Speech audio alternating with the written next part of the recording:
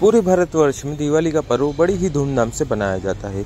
दिवाली के पहले ही लोग अपने घर में साफ़ सफ़ाई करना चालू कर देते हैं, लेकिन दिवाली के दिन कुछ ऐसी चीज़ें हैं जिनको भूल से भी घर में नहीं लाना चाहिए। भारतवर्ष में अनेक त्यौहार आते हैं, उसमें से कुछ प्रमुख त्यौहार कहे गए हैं, जिसमें अभी दीपावली का उत्सव आने वाला है। पूरे भारतवर्ष में दीपोत्सव बड़े उल्लास से बनाया जाता है और बड़ा उत्सव इस त्यौहार में होता है। इसे रोशनी का प्रकाश का पर्व कहते हैं। ये पर्व कार्तिक मास की अमावस्या को मनाया जाता है। इस पर्व में भगवान गणेश जी, देवी लक्ष्मी का मुख्यतः पूजन होता है। उनके साथ में भगवान गणेश जी तथा उनके साथ ही देवी सरस्वती का पूजन होता है। और भगवान कुबेर का पूजन होता है। प्रमुखता से देवी लक्ष्मी का इसमें पूजन किया जाता है।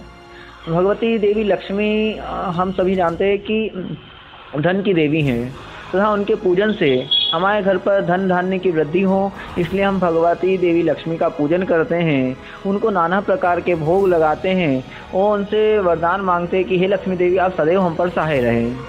इस प्रकार दीपावली का त्यौहार हम बनाते हैं और घरों में हर घर अपने घर की अच्छे से सफ़ाई करते हैं, स्वच्छता रखते हैं और दीप आदि लगाते हैं। यह किस लिए किया जाता है, क्यों किया जाता है? इस संबंध में अपन बात करते हैं। तो देवी लक्ष्मी का कहा गया है कि लक्ष्मी वहीं निवास करती हैं, जहाँ पर स्वच्छता होती है, सफ़ाई होती है।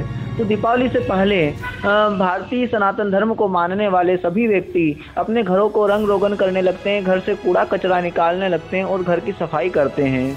और घर को प्रकाश के पर्व इसे दीपावली को माना जाता है। तो अपने घरों में प्रकाश की नई नई वस्तुएँ लगाते हैं रंगीन झालरों से और दीपों से और अनेक प्रकार के इलेक्ट्रिक आइटम आइटमों से और लाइटों से अपने घर को सजाते हैं। और बड़ी धूम से ये पूरे भारतवर्ष में दीपावली का त्यौहार मनाया जाता है।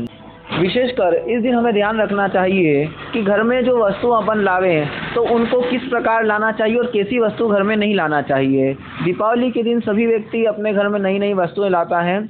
परंतु यह विशेष ध्यान रखना चाहिए क्या वस्तु अपने को घर में नहीं लाना चाहिए। दीपावली के दिन पुरानी टूटी फूटी वस्तुओं को अपने घर पर न लावें। सेकेंड हैंड वस्तु उपयोग करी हुई किसी दूसरे की वस्तु अपने को खरीद के इस दिन नहीं लाना चाहिए। और कहा जाता है कि काली वस्तुएँ, जो काला रंग होता है, नकारात्मकता का प्रतीक होता है, काली वस्तुएँ इस दिन खरीद कर घर में नहीं लाना चाहिए। ये अशुभता का प्रतीक माना जाता है। और कहा जाता है कि अप्रिय घटना से जुड़ी भी कोई वस्तु हो तो उसे भी घर में नहीं लाना चाहिए।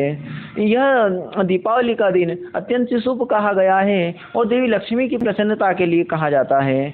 इसलिए इस दिन विशेषकर ये बातों का ध्यान रखना चाहिए कि गलत वस्तु जिससे हमारी पुरानी बुरी यादें जुड़ी हो, ऐसी वस्तु हमारे घर पर ना आवे, पुरानी कोई वस्तु हमारे घर पर ना आवे और काले रंग की वस्तु हमारे घर पर कोई ना आवे। ऐसी वस्तुओं को नहीं देखना चाहिए, घर में नहीं लाना चाहिए। इससे देवी लक्ष्मी को यह प्रिय, अप्रिय लगता है और हमें दुखद घटनाओं गट, की याद आती है। इस दिन को इस दिन को दीपावली के दिन को प्रसन्नता पूर्वक देवी लक्ष्मी की प्रसन्नता के लिए बनाना चाहिए। कहा जाता है कि इस दिन देवी लक्ष्मी घर घर आकर के निवास करती हैं और अपने भक्तों पर आशीर्वाद बनाए रखती हैं और देवी लक्ष्मी से प्रार्थना करना चाहिए कि हे देवी आप हमारे यहाँ पर इसी प्रकार धन धान की वृद्धि करें तथा हमारे यहाँ पर सौभाग्य आदि प्रदान करें। इस प्रकार देवी से प्रार्थना कर करके उनका पूजन में भोग फल आदि लगा करके उनको प्रसन्नता की कामना करना चाहिए।